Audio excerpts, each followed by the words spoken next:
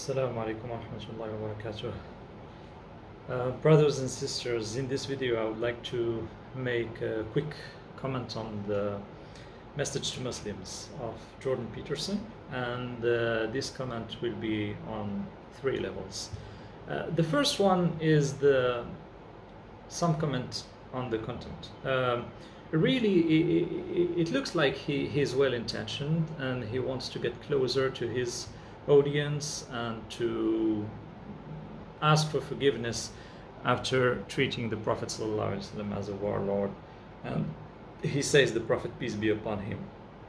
And also uh, saying that, well, the, the, the threat is above all the Abrahamic religions and that it's something that is universal, um, this materialistic uh, liberal threat.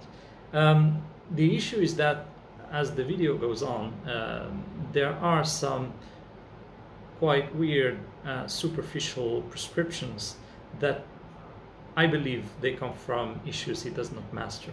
For instance, when he says it's time to stop fighting yourselves, uh, communicate with someone from the other side. So um, he, he, he, he thinks Muslims do not communicate enough with uh, Jews and Christians and Hindus and other beliefs, as well as they do not try to uh, go beyond the issues that, that are present between Sunnis and Shia. But the problem is that he's creating here a false dichotomy because you can't, I mean, you can't put an equivalence between Sunnah and Shia as long as Shia only represent uh, something like 10% of the Muslim population all over the world. So Shia just is just um, a branch in the many branches that deviated from the classical Muslim thought. That's why Sunnis represent 90% of Islam. And well, in creating this false dichotomy, he he gives a wrong uh, he gives a wrong um, state of the situation. Gives a wrong vision of the situation. Uh, Sunnis, they communicate with Shia, they also communicate with uh, Ibadi, they also communicate with uh, with uh, Qadiani, they communicate with all the people that live with them, with the with the one of the best manners, and uh, it, it, goes on. But the, these these differences, they, they they will not stop today nor tomorrow. Um, so asking to get united, asking Muslims to get united, is also something that um, puts uh, insists on the fact that unity is good in itself. But unity is good, yes. But with whom shall we unite? We do not unite with someone who will uh, destroy your own faith, who is someone who is really divergent from your own faith, just because of unity. Unity has to be constructive. It has to get us to a nice, to to a good goal, in fact. And also. Um, when he says that we see Jews and Christians as enemies and uh, that the true Satan is elsewhere, um, that we have to look in within, and there are uh, satanic ideologies that are spreading out there. Well, the problem is maybe he forgot that Jews lived the best situation in their history under Muslim ruling. So, and they acknowledge this themselves. Jews have been persecuted by mostly by Christians themselves in Europe and in other countries during 2000 years. Their only uh, their only struggle was to survive, and this was um, this was achieved with the with the Hitlerian Holocaust. So. Um, I mean, one has to look to the to history and to historical data before saying, before relaying and repeating these uh, preconceived ideas, these cliches that um, Muslims persecute Jews and uh, take them as enemies wherever they are, wherever they live. Um, nowadays, the problem is that he tends to forget that Jews are the ones who persecute Muslims. They are the ones who do not respect the resolutions of the of the United Nations. They are the one who are breaching the treaties. They are the one who are practicing modern Nazism and killing children and hospitals and, destroy, and destroying hospitals and schools. So one is wonders uh, why does he forget this thing? I mean, Muslims do not take Jews and Christians as enemies because they are Jews and Christians. I mean, we, we respect them as as uh, humans and we respect them as human beings Um, also, it's not because someone uh, you you see it seems he's confusing between the fact that you consider that the faith of someone a belief is wrong and taking him as a as, a, as an enemy. I mean you can say someone is kafir someone is jewish uh, more specifically jewish or hindu or atheist but you you can respect him as long as he's not fighting you and he's not hurting you uh, so he's not your enemy as a person um, but he tends to forget this, and this is quite superficial also. Um, it's quite bizarre coming from someone who specializes in psychology. Uh, minorities were crushed during uh, Christian uh, ruling, uh, so nowadays you don't find uh, Muslim ancestors and Muslim that had Muslim ancestors in the 16th and 17th century in Spain. You don't find them as well as in Sicilia, in southern France. But uh, in opposition, you find uh, 7 million Christians in uh, Egypt. You find Christians and Jews and Druzes and other faiths in Lebanon, in Syria, in Iraq. And so one is wondering uh, who crushes the minorities, who persecutes the minorities. Um, there is a difference really between saying your ideology is wrong or maybe even does not make any sense and taking you as an enemy. And he has to uh, get back to this distinction. Um, the true satan is not maybe there I don't know. The true Satan can be in many places. He can be with Jews and with Christians, with the with the Hindus. Now they are persecuting Muslims as as uh, as uh, in a in an awful way in uh, in uh, India. Uh, with the Buddhists in Myanmar, we're looking at the persecution of Rohingyas. Um, so, uh, with Jews and Zionism, we are looking at this in Palestine and persecution killing children and so Satan can be in many places. so it's not because he's not somewhere uh, or he, he must be in one place. Uh, then above these superficial messages, there are some deviant messages, like when he when he praises the Abrahamic, the so-called Abrahamic um, Abrahamic Accords, and he says it will bring peace between. Come on, these Abrahamic or so-called Abrahamic Accords were just laid down and to to to be a, a step before and to make normalization with Zionism easier. So uh, we have to be cautious about this.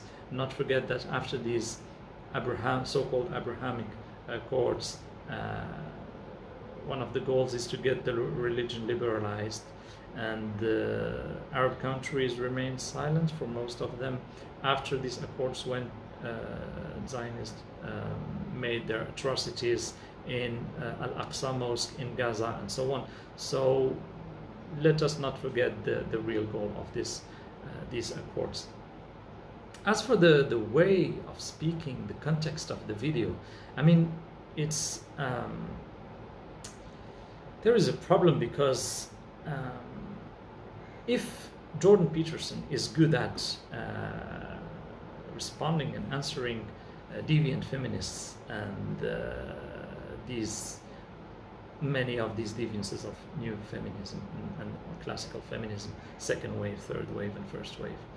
Um, it's not because he's famous for this that he will be famous in sociology and economy and uh, politics and uh, theology. No.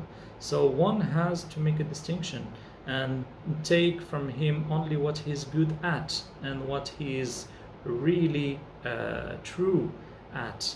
Uh, so this talking about Islam super, this such a superficial way is a problem, and the video is also a problem because the, the, the tonality, the, the, the the way of speaking is kind of neo-colonial. He's prescribing. He's ordering to. He's saying Muslims do and don't do. He's uh, Muslims should be, should do this reminds us of the white man burden uh, to civilize these uh, indigenous people and bring them to modernity. And this is an issue in itself because it looks uh, looks like even maybe he's not intending to uh, it does not intend to do this, but it looks like it's condescendent and uh, a bit prescriptive, uh, and also still superficial in a way, like when he was so superficial that he called the Prophet ﷺ a warlord. So, and if one if one would take his his way of speaking, uh, I would say, let's see my prescriptions to Jordan Peterson and people from the, the coming from the Western background. I would say to all Christians, for instance, it's time to stop fighting among each others. Christians, it's time to unite all your churches, starting from Orthodox, Catholic, and Protestant churches, and even evangelical, and all, many dozens of ch- churches that exist.